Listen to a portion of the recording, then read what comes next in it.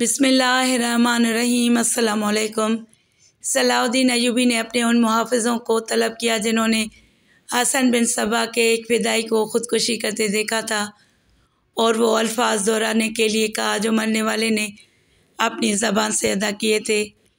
उन अल्फाज को अच्छी तरह से नशीन कर लेने के बाद सलाउद्दीन अयूबी फ़कीर ज़ियाउद्दीन ईसा की खिदमत में हाज़िर हुआ और बड़े राजदाराना अंदाज में पूरा वाक़ सुनाने के बाद ख़ुदकुशी करने वाले हमलावर किए आखिरी अल्फाज दौड़ाते हुए बोला, शेख, मुझे बताइए कि इन अल्फाज का क्या मफहम है? और मरने वाले ने किस को पुकारा था? यूसुफ सलाउद्दीन अयूबी की गुफ्तु सुनकर कुछ देर के लिए फ़किया ज़ियाउद्दीन के चेहरे पर खौफ का रंग उभर आया और वो बहुत ज़्यादा परेशान नज़र आने लगे। क्या हुआ, शेख? ज़ियाउद्दीन ईसा की ये कैफियत देखकर सलाउद्दीन अयूबी भी कुछ घबरा सा गया। वो लानत ज़दा लोग तुम तक पहुँचने में कामयाब हो गए थे। फ़किया ज़ियाउद्दीन ईसा ने बहुत उदास लहजे में कहा, अल्लाह उन दोनों जान निसारों की मफ़रत करे जो तुम्हारी ढाल बन गए। उसके बाद फ़किया ज़ियाउद्दीन ईसा ने सलाउद्दीन अयूबी को हसन बिन सबा, उसकी जन्नत और फ़िदाइन के बारे में सारी तफसीलात बता दी। इस इंकशाफ पर सलाउद्दीन अयूबी हैरत ज़दा रह गया। इसका मतलब है कि मिस्र की सरजमीन पर हसन बिन सबा के पैरोकार मौजूद हैं।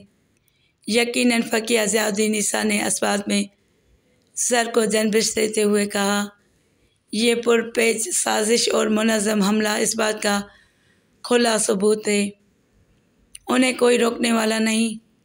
सलाउद्दीन ने नफ़रत आमेज़ लहजे में कहा, कौन रोके? एक बार फिर फ़की अज़ियाउद्दीन ईसा उदास हो गए थे।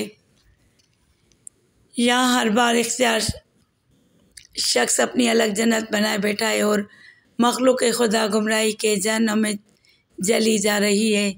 अब तुम आए हो तो कुछ उम्मीद हो चली है कि शायद ये आग बुझ जाए। इन एक दिन बद अकीदगी की ये दोजख बुझेगी और मखलूक खुदा इस जन्नत के रास्ते पर चल पड़ेगी, जिसका अहल ईमान से वादा किया गया है। सलाउद्दीन अयूबी ने इंतहाई पुरजोश लहजे में कहा क्या आप इस सिलसिले में मेरी रहनुमाई कर सकते हैं कि यहाँ हसन बिन सबा के मानने वाले कहाँ कहाँ रहते हैं? और उनकी जन्नतें कहाँ कहाँ आबाद हैं? ये लोग बहुत मुनज़म हैं, इसलिए ज़ेर ज़मीन रहते हैं। फ़किया ज़ियाउद्दीन ईसा ने यूसुफ सलाउद्दीन अयूबी के इस सवाल का जवाब देते हुए कहा, ये लोग कभी खुलकर सामने नहीं आते। इस कदर मसलियत पसंद होते हैं कि अपनी ज़रूरतों के मुताबिक अकीदा बदलते रहते हैं। अपने फ़िरके की तरफ़ से जासूसी करने के लिए हमारी सफ़ों में भी शामिल हो जाते हैं। इंतहा यह है कि हमारे साथ हमारी मस्जिदों में नमाज़ें भी पढ़ते हैं। कुछ अंदाज़ा ही नहीं होता कि हमारे बराबर कौन खड़ा है। वो बातनी है या अकीदा मुसलमान। फ़किया ज़ियाउद्दीन ईसा की गुफ्तु सुनकर सलाउद्दीन अयूबी के चेहरे पर शदीद मायूसी के आसार झलकने लगे। इस तरह तो हम ज़िंदगी भर इस्लाम के दुश्मनों का सुराग नहीं लगा सकते। फ़किया ज़ियाउद्दीन ने यूसुफ के चेहरे से उसकी दिल शिकस्तगी का अंदाज़ा कर लिया था। इसलिए फ़ौर ही इंतहाई मोहब्बत आमेज़ लहजे में हौसला देते हुए बोले, मेरे रूहानी फर्जंद, इतनी जल्द हिम्मत ना हारो। बस पूरी सच्चाई से उनकी तलाश जारी रखो। अल्लाह अपनी लाजवाल ताकत के हर जाविया जार पर कादिर है। एक दिन वो खुद ही पुकारेंगे कि हम यहाँ छुपे हुए हैं। मैं बदगुमानी और तहमत तराजी से डरता हूँ, लेकिन मुझे यकीन है कि अमीर अबू जाफ़र और अमीर अली नासरी बातनी फ़िरके से ताल्लुक़ रखते हैं। मगर मुश्किल ये है कि बातनियों में भी कई फ़िरके हैं। इसलिए मैं नहीं जानता कि अबू जाफ़र और अली नासरी का ताल्लुक़ हसन बिन सबा की जमात से है या नहीं। ये दोनों उम्र इंतहाई ज़माना साज और फितना परवर हैं। अगर उनका बस चले तो अपनी छोटी सी इमारत बनाने के लिए सलेबियों को मिस्र पर हमला करने की दावत दे दी। एक ज़माना में ये दोनों गद्दार शावर के हम थे, मगर जब शावर की गर्दिश का ज़माना शुरू हुआ तो उन्होंने हवाओं का रुख पहचान कर उसका साथ छोड़ दिया और भरे दरबार में खलीफा आजिद के पाँव पकड़कर अपने गुनाहों की माफ़ी मांग ली। तुम हर हाल में इन दोनों की हरकत व सकनात पर गहरी नज़र रखना और अगर कभी ये अपनी बात मनवाने के लिए कसम भी खा बैठे तो उनका हर एतबार ना करना। फ़किया ज़ियाउद्दीन ईसा से तवील गुफ्तु के बाद बावजूद हसन बिन सबा के मानने वाले गुरों का पता तो नहीं चल सका, मगर सलाउद्दीन अयूबी पर अमीर अबू जाफ़र और अमीर अली नासरी के मुनाफाना शख्सियत बेनकाब हो गई। फिर सलाउद्दीन अयूबी ने तन्हाई में अपने मोतमद ख़ास अमीर एजाज़ीन से मशवरा किया। अमीर एजाज़ीन यूसुफ सलाउद्दीन अयूबी से उम्र में भी बड़ा था और बहुत ज़्यादा सियासी सूझबूझ भी रखता था। उस संगीन मामले के हर पहलू पर तवील गौर फ़िक्र के बाद उसने सलाउद्दीन को मशवरा देते हुए कहा, मेरे ख्याल में अबू जाफ़र और अली नासरी को आजमाने का यही एक तरीका है कि मरने वालों को उनकी आदमी साबित कर दिया जाए।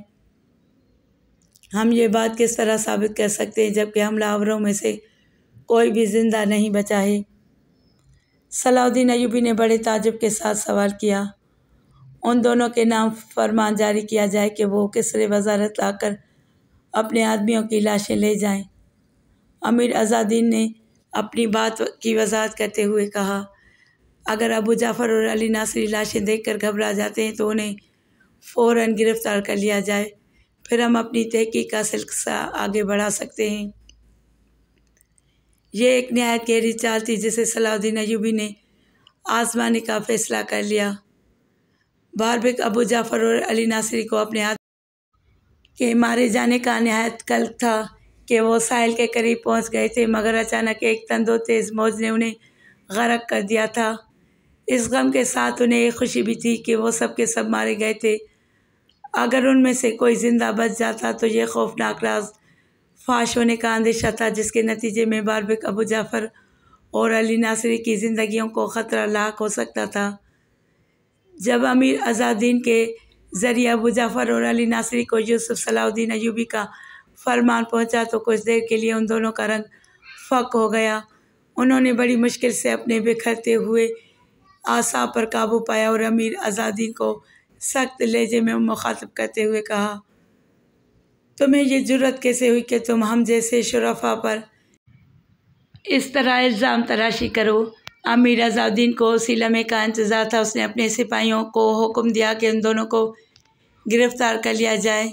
अबू जाफ़र और अली नासरी के मुहाफ़ सिपाहियों ने मुजामत करने की कोशिश की, मगर अमीर अजाउद्दीन के साथ पूरा फ़ौजी दस्ता था। मजबूरन उन्होंने हथियार डाल दिए। फिर जब खलीफा आजिद ने मिस्री उमरा की गिरफ़्तारी की खबर सुनी तो वो गज़बनाक हो गया और उसने किसरे वजारत पहुँच कर सलाउद्दीन अयूबी को वजारत से बरतरफ कर दिया और उसी वक्त मिस्र से निकल जाने का हुक्म जारी कर दिया। सलाउद्दीन अयूबी ने बड़ी हैरत से खलीफा आजिज़ का हुक्म सुनकर फौरी तौर पर कोई जवाब नहीं दिया, बस खामोशी से मिस्र के हुक्मरान की तरफ़ देखता रहा। तुमने मेरा हुक्म सुन लिया। इस बार खलीफा आजिद ने चीख कर कहा, सुन लिया।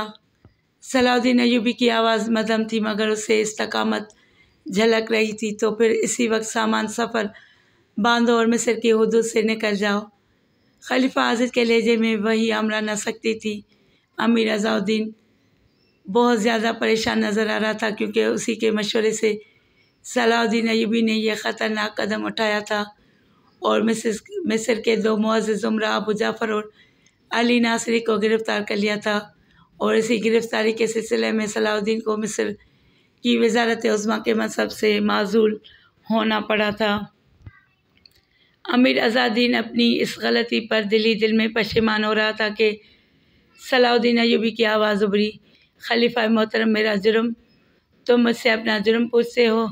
खलीफा आजिद का लेजा कुछ गज़बनाक हो गया था। मैंने ये सोच कर तुम्हारी बेशुमार गलतियाँ माफ़ कर दी थी कि जोश जवानी में इंसान से कोताहियाँ सरजद हो रही, हो ही जाती हैं, मगर ये मेरी गलती थी कि मैंने तुम्हारी तरफ़ से चश्म पोशी की, जिसके नतीजे में आज तुमने वो गुल खिला दिया कि मैं अपनी सल्तनत में मुँह दिखाने के काबिल नहीं रहा। अबू जाफ़र और अली नासरी सिर्फ़ उम्र ही नहीं, मेरे ज़ाती दोस्त भी हैं। मेरे वह गुमान में भी नहीं था कि तुम उन दोनों मुआजीन मुआजीन शहर के साथ ऐसा ज़िल्त आमेज़ सलूक करोगे। खलीफा मोहतरम ना ना वो आपके दोस्त हैं और ना ममलकत के। सलाउद्दीन अयूबी का लहजा मोदबाना था, मगर उसे बेखौफी नुमाया थी। मैंने आपके दो दुश्मनों को गिरफ़्तार किया है। अगर अबू जाफ़र और अली नासिर बर वक्त ना पकड़े जाते तो फिर कुछ भी हो सकता था। जो लोग मुझे कत्ल करने आए थे, वो अपना रुख किसरे खिलाफत की तरफ़ भी मोड़ सकते थे। खलीफा आज़द इकतदार के नशे में सलाउद्दीन अयूबी की कोई बात सुनने के लिए तैयार नहीं था। तुम जब यहाँ आए थे तो एक मामूली सिपाही थे, मगर मैंने तुम्हें ज़मीन से उठाकर आसमान पर बिठा दिया। फिर तुम अपनी हैसियत भूल गए। ग़ुलाम थे, इसलिए आकाओं के गिरेबानों पर हाथ डालने लगे। एक लम्हे के लिए सलाउद्दीन के जवान खून में आग सी लग गई, मगर उसने फेम फरासत और जब्त व तहमल के पानी से उस आग को बुझा दिया। खलीफा मोहतरम में ग़ुलाम ही सही, मगर आपकी ममलकत के लिए मेरे चचा असदुद्दीन शेर को और ख़ुद मेरे बहुत खिदमात हैं, जिन्हें आप जोश जज्बात में नज़रअंदाज कर रहे हैं। हमने तुझे और तेरे चचा को इन खदमात का इतना असला दिया है कि तुम दोनों उसका तस्वर भी नहीं कर सकते थे। खलीफा आजिद मुसलसल सलाउद्दीन की तहकीर कर रहा था, मगर हमारी करीमाना नवाजिशात का सिला जो तूने दिया है, उसे हम ज़िंदगी भर फरामोश नहीं कर सकते। सलाउद्दीन अयूबी ने इस मसले को सुलझाने के लिए मज़ीद वजाहतें पेश करनी चाहिए लेकिन खलीफा आजिद ने उसे इस तरह झटक दिया, जैसे वो मिस्र का वज़ी अजम ना हो, इसका ज़र खलीद ग़ुलाम हो। बस हमारी आखिरी करम यह है कि हम तुझे मिस्र से ज़िंदा और सलामत जाने की इजाज़त दे रहे हैं, वरना तेरी इस जुर्म की सज़ा कुछ और थी। अगर खलीफा आजिद के इख्तियार में होता तो वो सलाउद्दीन अयूबी को बेदर कत्ल करा देता, मगर वो सुल्तान महमूद जंगी की फ़ौजी ताकत से खौफजदा रहता था कि अगर सलाउद्दीन को कुछ हो गया तो पूरा मिस्र जंगी फ़ौज की यलगार का हदफ बन जाएगा। अब सलाउद्दीन अयूबी की कुत बाज़ार जवाब दे चुकी थी। खलीफा मोहतरम को मालूम होना चाहिए कि मैं वापस जाने के लिए नहीं आया हूँ। मिस्र को मेरी ज़रूरत है। जब तक मुझे मेरा मकसद ख़ास हासिल नहीं हो जाता, मैं ये सरजमीन नहीं छोड़ूँगा। इतना कहकर सलाउद्दीन अयूबी खलीफा आजिद के कमरे से निकल गया। अमीर आज़ादीन भी उसके पीछे पीछे चला गया। खलीफा आजिद के लिए सलाउद्दीन अयूबी का जवाब, इस कदर गैर मुतव था कि वो सख्ते में आ गया था। फिर जब उसकी ये कैफियत ज़ायल होती, हुई तो वो शिद्दत गज़ब से कांपने लगा। आखिर एक ग़ुलाम किस बुनियाद पर अपने आका की नाफरमानी कर रहा है? खलीफा आजिद ने ख़ुद से सवाल किया। फिर उसने अपने मुहाफ़ दस्ते के फ़ौजियों को तलब करते हुए हुक्म दिया, यूसुफ़ को इसी वक्त गिरफ़्तार करके हमारे हजूर में पेश किया जाए। खलीफतुलमसलमिन हम सब आपके हुक्म की तामील से कासरें बैक ज़बान कई सिपाहियों ने जवाब देते हुए कहा, क्या तुम्हारा कोई और आका है कि जिसके फरमान पर तुम अमल कर रहे हो? खलीफा आजिद ने शदीद तेज के आलम में अपने ही मुहाफ़ सिपाहियों को मुखातिब करते हुए कहा, हमारा आका तो सिर्फ़ अल्लाह है। एक सिपाही ने तायसर अंगेज लहजे में कहा आप सिर्फ़ हमारे हुक्मरान हैं, मगर हमारी शमशीरें यूसुफ के हुक्म की ताबे हैं। एक लम्हे में खलीफा आजिद पर सारी सूरत हाल वाज हो चुकी थी। उसने फ़ौर ही तमाम मुहाफ़ों को अपने कमरे से चले जाने का हुक्म दिया। फिर जब आखिरी सिपाही भी खलीफा की आँखों से ओझल हो गया तो उसने कमरे का दरवाज़ा बंद कर लिया। फिर एक जाम लबरेज किया और उसे हलक से नीचे उतार लिया। खलीफा आजिद के नज़दीक अपने गुस्से की आग को ठंडा करने का यही एक तरीका था। कुछ देर बाद मशरूब ने अपना असर दिखाना शुरू कर दिया। यहाँ तक कि आसाब का तनाव कम होने लगा। अब खलीफा आजिद किसी कदर सुकून से सूरत हाल का जायज़ा लेने लगा। ज़ाती मुहाफ़ों के इनकार ने साबित कर दिया था कि सलाउद्दीन अयूबी ने उसके गिरद अपने फरमा बदा सिपाहियों का हिसार खींच दिया है। अगरचे ये हकीकत थी कि खलीफा आजिद के मुहाफ़ सिपाहियों में शावर के जासूस मौजूद थे, जिन्हें सलाउद्दीन अयूबी ने बड़ी जहानत के साथ महल से बाहर निकाल फेंका था, लेकिन मौजूदा सूरत हाल में खलीफा आजिद मुहाफ़ों की तब्दीली को भी सलाउद्दीन अयूबी की एक शातराना चाल समझ रहा था। फिर यकायक खलीफा आजिद के कानों में सलाउद्दीन अयूबी के वो अल्फाज गूंजने लगे, जो उसने कमरे से निकलते हुए कहे थे जब तक मुझे मेरा मकसद ख़ास हासिल नहीं हो जाता, मैं ये सरजमीन नहीं छोड़ूँगा। उन अल्फाज की बाजगश्त ने एक बार फिर खलीफ आजिद के गुस्से की आग को भड़का दिया था। उस ग़ुलाम का मकसद ख़ास और क्या हो सकता है कि वो अपने आका की सल्तनत पर कब्ज़ा कर ले? खलीफ आजिद ने ख़ुद कलामी के अंदाज में कहा, मगर ये कैसे मुमकिन है? यूसुफ के दो हज़ार सिपाही पूरी मिस्री फ़ौज का मुकाबला किस तरह कर सकते हैं? इस ख्याल के आते ही खलीफा आजिद ने एक और मनसूबा तराश लिया। पहले अपने दो हज़ार मुहाफ़ों को कत्ल करा दिया जाए, फिर यूसुफ को गिरफ़्तार करके ज़िंदा में डाल दिया जाए। इस ख्याल के आते ही खलीफा आजिद का बेकरार दिल ठहर सा गया। खलीफा आजिद ने मिस्री फ़ौज के सालार अब्दुल्ला कुरैशी को खलबत में तलब करके इंतहाई नागवार लहजे में कहा, मैं महसूस कर रहा हूँ कि मिस्री अफराज सो रही है। अब्दुल्ला कुरैशी ने हैरत से खलीफा आजद की तरफ़ देखा और सिपाहियाना लहजे में कहा, आज से ज़्यादा हमारी अफवाज कभी होशियार नहीं है। हर सिपाही जाग रहा है और हर मोर्चा मज़बूत है। ये कैसी बेदारी और कैसी मजबूती है कि मिस्र के दो मुआज़ तरीन उम्र अबू जाफ़र और अली नासरी को मेरी इजाज़त के बगैर ज़िंदा के हवाले कर दिया गया?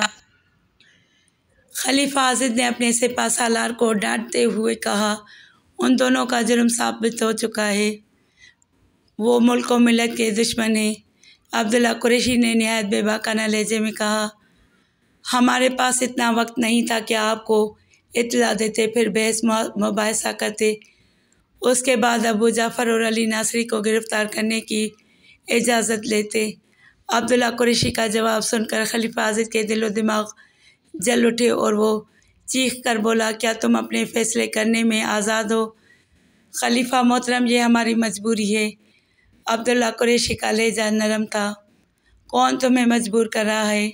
खलीफा आजिद और ज़ोर से चीखा, क्या तुम्हें ऐसा करने के लिए यूसुफ ने मजबूर किया है? वो मुल्क व मिलत के वफ़ादार हैं। अब्दुल्ला कुरैशी ने मुबम जवाब दिया, वो खुल कर बात करना नहीं चाहता था। कि सियासी सूरत का यही तकाजा था। तुम्हें मालूम होना चाहिए कि मैं यूसुफ को बरतरफ कर चुका हूँ, खलीफा ने इंतहाई सख्त लहजे में कहा, उसे फौरी तौर पर मिस्र की हदूद से निकाल दो और वो सरकशी करे तो उसे ज़िंदा के हवाले कर दो। बात बहुत आगे बढ़ चुकी थी। मजबूरन सालार अब्दुल्ला कुरैशी को भी बाज़ अल्फाज में जवाब देना पड़ा। खलीफा मोहतरम, आपके इस हुक्म की तामील नहीं की जा सकती। मेरी दरख्वास्त है कि आइंदा भी ऐसे काम जारी करने से गुरेज करने, वरना ये सूरत आपकी सेहत के लिए भी नुकसानदा साबित हो सकती है। यह कहकर सालार अब्दुल्ला कुरैशी खलीफा मिस्र के खसूसी कमरे से निकल गया। खलीफा आजिज चंद लम्हों तक तो सकते की हालत में रहा फिर पूरी ताकत से चीखा। क्या तुम नमक हराम लोग मुझे कत्ल कर डालोगे? इस चीख का खलीफा आजिज के दिल पर बहुत बुरा असर पड़ा और वह बेहोश होकर गिर गया। मिस्र के तमाम शाही तबी खलीफा आजिद के गिर जमा हो गए थे। हर जाविये से तशखीस की गई, फिर तमाम तबीबों ने मिस्र के हुक्मरान को एक ही मशवरा देते हुए कहा, आप ख़ुद को तमाम फ़िक्रों से दूर रखें, वरना किसी भी वक्त दिल और दिमाग पर बुरा असर पड़ सकता है। तबीबों के जाने के बाद खलीफा आजिद ने ख़ुद कलामी के अंदाज में कहा, किसी को क्या बताऊँ कि मुझे क्या फ़िक्र है? ज़िंदा हूँ, मगर मुझसे ज़िंदगी छीनी जा चुकी है। मैं दुनिया की नज़रों में मुतलकुलअनान हाकिम हूँ, मगर मेरा हर फरमान बेअसर है। खलीफा आजिद के लहजे से इस कदर मायूसी झलक रही थी कि आखिर वो अपनी बेकसी पर रोने लगा। मिस्र के सिपा सालार अब्दुल्ला कुरैशी ने खलीफा आजिद से होने वाली गुफ्तु बेकमुकास सलाउद्दीन अयूबी को मुंतकिल कर दी थी। इस खसूसी नशस्त में अमीर अजाउद्दीन भी शरीक था। फिर तवील गौर फ़िक्र और बहस मुबासे के बाद सलाउद्दीन अयूबी ने अपने दोनों महतमत साथियों को मुखातिब करते हुए कहा वाक़ता हम लोग बहुत मजबूर हैं। अगर खलीफा को मुकम्मल आज़ादी दी जाती है तो अबू जाफ़र और अली नासरी जैसे गुमराह इंसान दोबारा ताकत में आ जाएँगे और मखलूक खुदा इसी तरह अंधेरों में भटकती रहेगी या फिर अहल ईमान पर इस कदर तशद किया जाएगा कि वो मजबूर होकर खलीफा और उसके हम नवाओं की नज़रियात कबूल कर लेंगे। हमारे जीते जी ये मुमकिन नहीं।